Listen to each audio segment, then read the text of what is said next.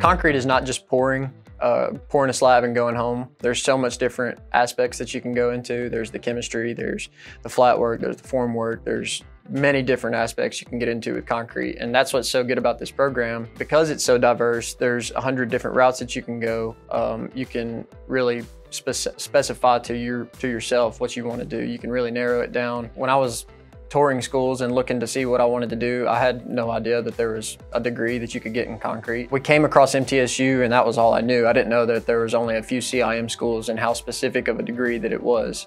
Met with one of the professors over here and she made it sound really, really desirable.